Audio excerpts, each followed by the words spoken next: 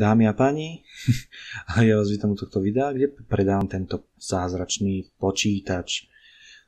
Pednička je síce troška staršia, už má asi nejakých 6 rokov, ale za každým som upgradeoval vnútornosti, takže teraz už je tam nasťahovaná nová doska, Gigabyte, označenie, označenie to mám na papieroch.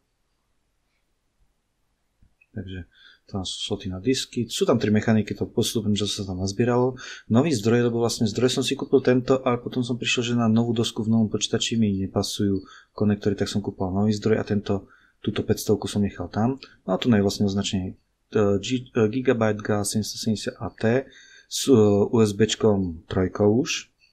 To je aj nový chladič, keďže som upgradeoval na Fenoma, tak som potreboval silnejší chladič.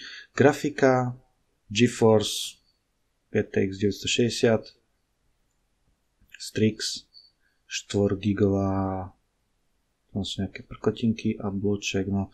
Čiže kúpená 2.3.2016, takže ešte stále je v záruke.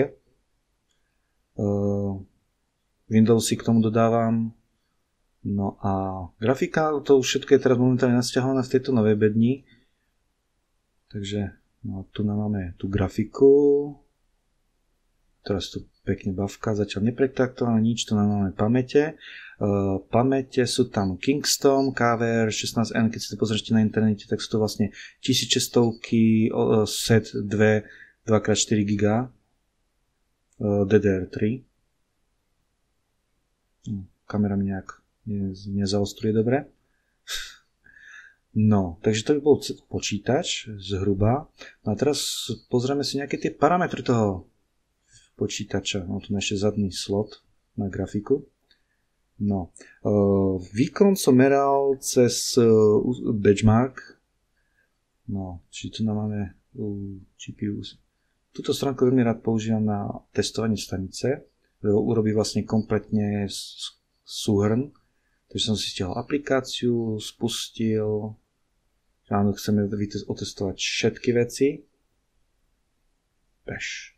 No a teraz počas testu bude testovať hard disk, e, zápis, čítanie, pamäte, zápis, čítanie, e, procesor otestuje, že ako dokáže funguje a na konci spustí test grafiky, kde vlastne vyskúša všetky tie prostredia v OpenGL, DirectX a tak.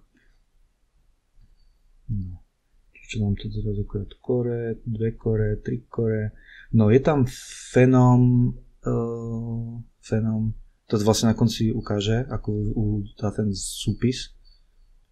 No ako predtým som tam mal Atlona dvojadrového, ten šlapal celkom ako tak, ale nestačilo to, takže vlastne som tam kúpil 6-jadrového Fenoma, s tým to bolo podstatne lepšie, ale ten pôvodný chladič, čo som mal, je tam v, v krabičke, krabičce ho tam pribalím, tak som potreboval silnejší chladič, takže väčší chladič, lepšie to chladilo, silnejší zdroj som potreboval, Takže preto je tam aj nový zdroj, to som robil upgrade asi tak pred rokom. No, kde sme už, už sme pending, no, ten benchmark je troška dlhší, chvíľu to trvá. Ako hry na tom bežia úplne bez problémov, Space Engineery, na, pokiaľ máte začiatočný svet, tak na full detaily to beží, ale potom ani nie tá grafika alebo procesor, ale pamäte, ako Space Engineer je náročný na pamäte, ale čo predtým chceli kúpovať tento počítač, tak e, Dota úplne 200 uh, FPS, Counter-Strike tiež nejakých 120 FPS, takže úplne v pohode. No toto sú tie uh, testy grafiky, vykresľovania. No teraz 124 uh, FPS to urobilo, to na tento test to urobí na koľko? 100 FPS, no takže ako ja aj popri nahrávaní som bez problémov fungoval na 30 fps. Pokiaľ bol väčší svet, tak ten e, Space Engineer som troška ubral, Medieval Engineer takisto. Takže ako e, na hry, dnešné hry 99% sa s tým dajú uhrať. Pokiaľ to nie je Star Citizen.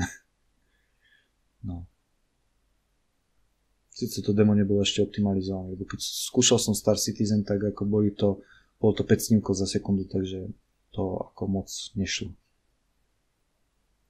No, už a ešte posledný test tuším. No, Firant. No a teraz nám vlastne vypíše nejakú tú tabulku. Tak, a tu to je PC status. No, takže nakoniec je tam ten Phenom 2 X6 1055. O, koľko to má MHz? No, takže ako no ako vlastne to som mal vtedy ešte, že som mal akorát vyťahnutý uh, SS disk, takže je to bez SS disku. Takže Phenom 1005, píše to MHz. Aha, to na 2,8 GHz. Uh, grafika, harddisky sú tam dva. Tam 250 tu nechám. Uh, memory kit, takže sú tam 2x4 GB. No a tu je vlastne systém. Takže ako kto by mal záujem, cena je taká, aká je. S cenou nezmlúvam, že ako daj to za menej, nie. Toto je stanovená cena, buď sa to predá, ak sa to nepredá, tak nechám to synovi.